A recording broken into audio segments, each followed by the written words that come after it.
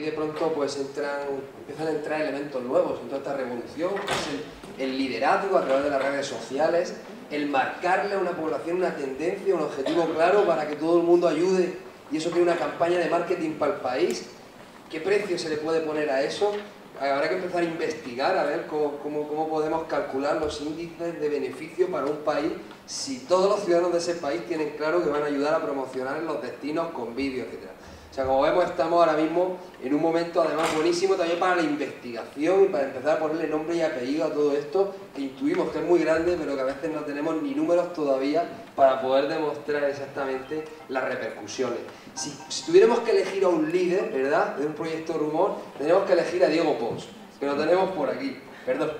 Eh, eh, porque fijaros, él, va, a terminar esta, parte, esta, charla de innovación porque él, eh, en ese cambio, en esa transformación de músico a convertirse en un videoblogger, pues ya de un prestigio internacional, él justamente lo que hace eso, es hacer llegar la pasión o la, experiencia que él está sintiendo en un destino y se lo está contando a la gente directamente, ¿no? Y la gente ve sus vídeos y eso le influye y dice, es como españoles por el mundo o algo así, ¿verdad? Es decir, él va contando todo, es mejor. Entonces, Diego, sería, sería, digamos, el líder perfecto. Si hubiera pudiéramos clonar a Diego, ¿eh? conseguir pues 5 o 6 mil tíos que hicieran lo mismo, tendríamos la campaña de marketing de España más importante de la historia. ¿Verdad que sí? Diego, cuéntanos cómo se hace eso.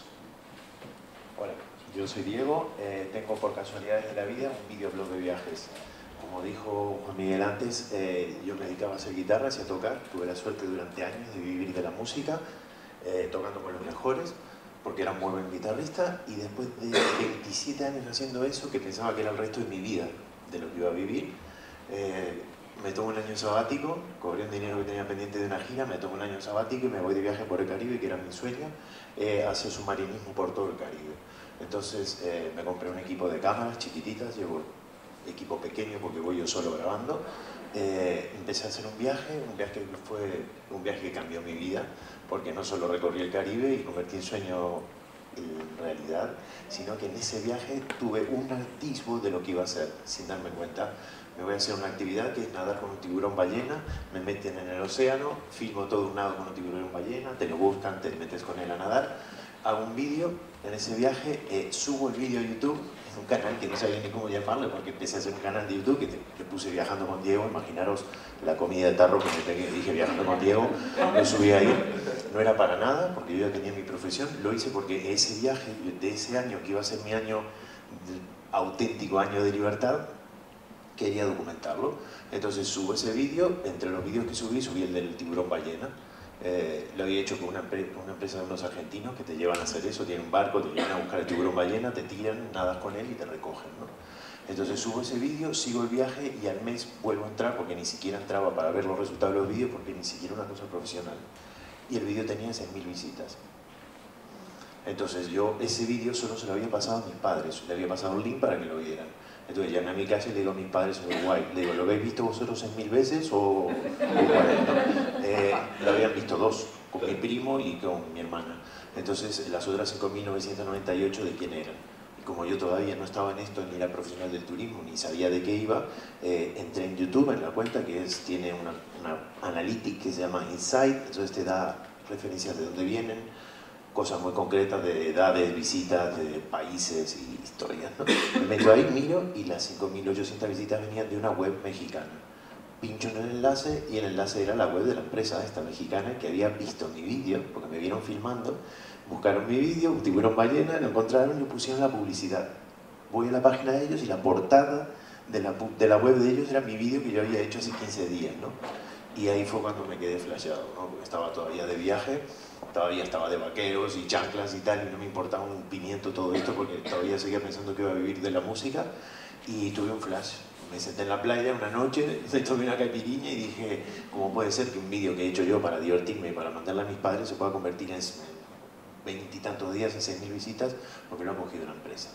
Entonces, durante tres o cuatro días estuve como flotando, como diciendo, ¿será verdad que pueda vivir de esto? Eh, sorprendido, empecé a darle caña y empecé a, hacer vídeos y empecé de verdad a querer currar de esto. Eh, la música se está yendo al garete, ya lo sabéis todos, no tiene nada que ver con lo que era hace 20 años, el negocio, y menos para los músicos. Entonces decidí tirar para adelante. Me pasó la cosa más bonita que me podía pasar, que era con 50 años que tengo, he cambiado mi vida. Eh, eh, digamos que soy el videoblogger de moda, porque claro, el tema es que no hay nadie haciendo esto, que se vaya con una cámara a filmar por el mundo y quiera hacerlo profesional. Eh, hay uno en Canadá y otro en Australia, pero están subvencionados por el gobierno. Yo me lo hago todo yo solo y lo que está pasando es que ahora esto está empezando a ser un boom. Porque esto sí es una realidad. Todo lo que cuentan de decir, te voy a mostrar una experiencia, esto es una experiencia. Yo recomiendo ahora a todos que cuando tengáis un ratito vayáis a Viajando con Diego. No voy a poner los vídeos porque ya que estamos para charlar y me tenéis aquí, que te ponga un vídeo, lo podéis ver en casa perfectamente. Es mucho más razonable que os cuente la historia, que después tengáis tiempo para verlo y disfrutarlo los vídeos son súper ágiles, divertidos, amenos. habla Diego, si quieres, lo, le puedes dar a... No, porque no me van a ver a mí. los vídeos los veis en casa.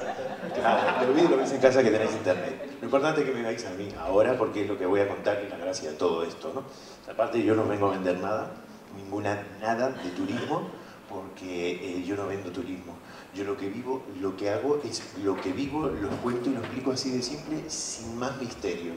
O sea, los destinos me contratan, ya ahora todo esto se profesionalizó, ya no voy yo de viaje, me llevan los destinos, me contratan los países, yo voy y les hago vídeos, que ahora ya son vídeos oficiales. Entonces, eh, ha pasado un proceso muy gracioso, el que yo no sabía nada del sector, no sabía nada de qué iba, lo que sí tenía era cierta gracia para hacer vídeos y, comentarlos. ¿no? Eh, han pasado dos cosas muy curiosas, que es que me contrató eh, hace un año y medio Visit Scotland, para que hiciera un viaje por el país. Me dieron un coche, estuve 10 eh, días recorriendo el país. Cuando terminé el viaje, hice, volví a España, hice el vídeo, lo vieron y es el vídeo oficial de Visit Scotland. O sea, tú vas ahora a la página de Visit Scotland y lo que te muestran es un vídeo de un blogger español que viajando con Diego. ¿Qué pasó? Me cogieron, me metieron una patada me mandaron 100 años para adelante, porque que un país contrate a un blogger para hacer un vídeo oficial, me, o sea, yo la verdad que tenía ilusión en trabajar y hacer cosas, pero ahí ya me pegaron un empujón brutal. Entonces ahora ya me contratan los países para que vaya a hacer vídeos. Los vídeos que utilizan ellos son oficiales, por lo menos es una realimentación. Yo les hago publicidad a ellos y ellos me hacen publicidad a mí, por lo tanto yo puedo seguir haciendo publicidad porque los otros me hacen publicidad. Es un caso real de redes sociales. Eh, no os cuento mucho más de cosas de estas porque lleváis una charla tremenda con toda esta gente, más mi historia.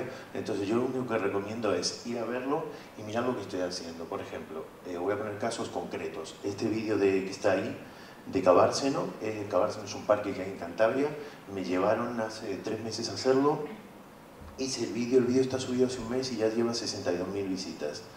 Entonces, esto sí que es ROI, ni estadística ni nada. ROI es que hacer un vídeo de un videoblog, subirlo y que tenga 62 mil visitas en un mes. Pero es que lo más curioso de esto es que si sigues para abajo y miras más, no voy a andar bajando y tal, pero eh, hice uno de Canarias hace seis meses y ya tiene 400 mil visitas.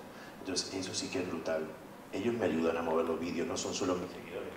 Podéis ver ahí que yo tengo pues 7.349 suscriptores y después 1.160.000 visitas en tres años que llevo con el canal. Eh, es un hit. Eh, de verdad. O sea, echarle un vistazo porque eh, se ha creado un personaje eh, y lo más gracioso de todo esto que lo he hecho yo solo y con una cámara así. O sea, que es real, no es que te digan esto se puede hacer, no, se hace y sí lo hice y está aquí. Entonces, ahora si bajáis, dentro de un rato presento el vídeo este de, de, Cantabria, en el stand de Cantabria, y esto es una evolución que va a venir más. O sea, todavía se hablaba de YouTube y todo esto, ya no es, ya está aquí ya hay casos reales de cosas que se pueden hacer y destinos que están contratando bloggers para hacer cosas. Entonces, eh, yo lo único que digo es ir a verlo y después, eh, si eso me engancháis en Facebook y en Twitter y me comentáis lo que pensáis de todo esto, no acepto críticas muy malas porque me ponen de mala leche. sí, porque hay mucha gente que me pone, ¿eh? eres un cabrón, un vividor que va por ahí viajando y tal, y no es así. O sea, yo viajo para mostrar los destinos, pero mientras voy viajando voy filmando, voy subiendo fotos, voy compartiendo toda la información donde voy. O sea que cada noche en vez de llegar a la playa después del hotel, me voy al hotel a volcar y vuelco información de vídeo, foto, comparto en Twitter y en Facebook. O sea que es un curro de la gran flauta. No es broma sobre todo si lo quieres hacer bien. Entonces nada, seguirme en Facebook, en Twitter, en YouTube, mirar lo que hago y nada, mi mensaje es muy simple, eh, hay que trabajar, hay que poner ilusión y las cosas salen. Es súper positivo, aquí tenéis un caso de hablar, tanta la gente que habla de tanta crisis y tal, evidentemente hay un problema económico y una crisis, pero que no os desmoralicéis con todo esto porque es una pena tener tantas herramientas como nunca hemos tenido en la historia de la humanidad para estar preocupados por una crisis. Nada más, gracias por todo.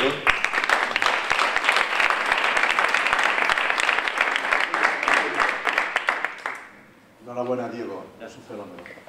Además, das mucho rollo positivo. No, no solamente una pregunta, sino es una discreción. Tú eres muy bueno haciendo lo que haces, y lo haces con mucho cariño y tienes éxito, pero básicamente es foto, vídeo, lo que vas viendo, pero la parte verbal, los comentarios, ¿los haces tú también? O, el texto te lo facilita alguien, o el texto te lo curras tú buscando en Wikipedia, ¿cómo, cómo te lo montas el texto de lo que dices? Bueno, cuando veas los vídeos vais a reír un montón porque yo eh, llego a los lugares y no me informo de nada. Cuanto menos sepa mejor porque si sé a dónde voy a ir sé lo que voy a ver y si sé lo que voy a ver ya cuando llegue al lugar es como un, un, tío que está filmando. Yo prefiero no saber nada, decir me van a llevar a tal lugar, me dan un coche, llego, saco la cámara, la pongo así y lo que pasa es lo que es.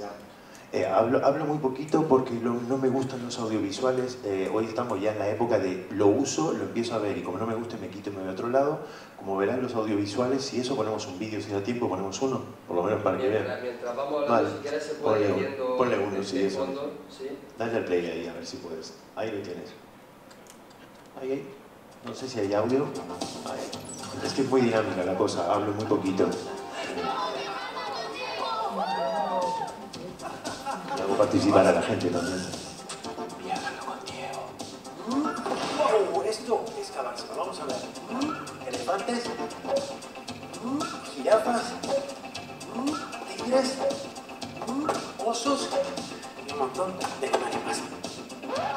Ahí, Ya vamos a quitar el sonido para ir un poco concluyendo. Estamos Claro. a cuatro minutos. Pues nada, eh, decir eso, que es todo muy dinámico, muy rápido, sal- salió de la mera casualidad, no tiene ninguna prevaricación ni nada, es la inocencia pura. Ahora ya es más profesional porque ahora tengo que ir al destino y tengo que mostrar ciertas cosas, me piden que visite ciertos lugares. Evidentemente estas cosas no se pueden hacer simple y llanamente así, tiene que haber un proceso, porque cuando te contrata un país, pues si me llevan a Perú, pues quiere que vaya a Machu Picchu y esté el tiempo suficiente para mostrar Machu Picchu. ¿no? Ya no es un viaje mío personal, es un viaje organizado, pero yo hago que sea mínimamente locucionado para que no haya mucha charla, que participe la gente y que sea muy dinámico y muy divertido. Nada más, para los audiovisuales en YouTube, si quieres tener visitas, eso es lo que es, cortito, rápido y al pie. ¿Más preguntas? Mucho mejor. Con más clase y con más cultura.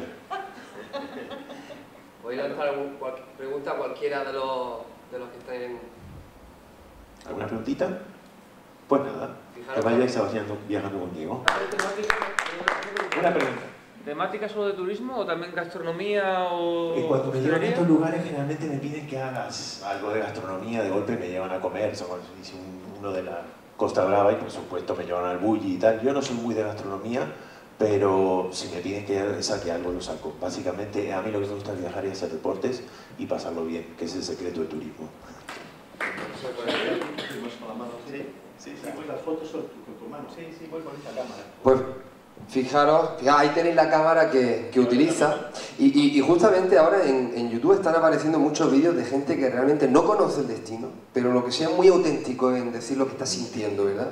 Y esa experiencia es lo que muchas veces también nos atrapa, es decir, bueno, eh, a ver, esta, esta persona qué opina sobre lo que ve, ¿no? Pues fijaros hoy el repaso interesantísimo, hemos empezado con, con Leire, ya por, por ir concluyendo, hemos visto cómo la gente eh, influye en otra gente, que los comentarios influyen a través de TriAdvisor, que es una forma eh, de, de- de hacer que la gente vaya a destinos, de atraer. Luego que nos ha ido contando Pedro toda esa transformación a través de, de- su blog, de mi nube, y cómo eso también está posicionándose como una forma de vender los destinos. Hemos visto el tema de aplicaciones móviles con David Moreno, todo el tema que nos viene de la realidad aumentada y lo del Google Glass, que os recomiendo quien no lo conozca que se meta en YouTube y lo vaya mirando ya en los vídeos, porque eso va a cambiar, va a revolucionar. Luego he visto cómo implicar de forma organizada a las comunidades ¿eh? a través de Rumor Project y habéis visto en primera persona cómo se puede, pues fijaros, ¿eh? hacer este tipo de... Espero que os lo hayáis pasado bien, que habéis estado bien. Si cualquier pregunta todavía tenéis un par de minutos y lo más importante es que visualizar mucho lo que va a ocurrir en los próximos años porque ahora mismo hay unas oportunidades excepcionales de crear nuevos modelos de negocio. Todo esto está cambiando todo. O sea que aquí veo que hay muchos estudiantes, que sois gente que sois nativos de las redes sociales, que habéis crecido, prácticamente habéis nacido ya con las redes sociales, aprovecharlo, innovar, porque además España también necesita que seamos punteros, ya no somos en turismo, y ahora en esas aplicaciones de la innovación para el sector turístico. Muchísimas gracias, gracias a la Asociación Española de Expertos por organizar esto y esperamos veros el año que viene de nuevo aquí. ¿vale? Muchas gracias.